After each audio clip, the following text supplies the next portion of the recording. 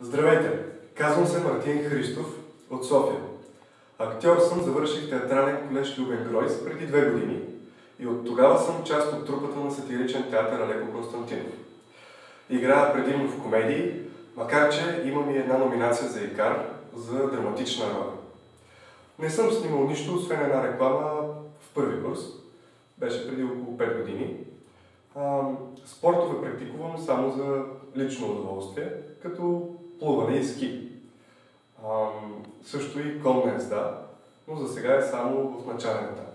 Карам кола и много бих искал да се снимам в сериали или в голямото кино. Така че се надявам и си пожелавам скоро да ми се случи. Това беше от мен. До скоро!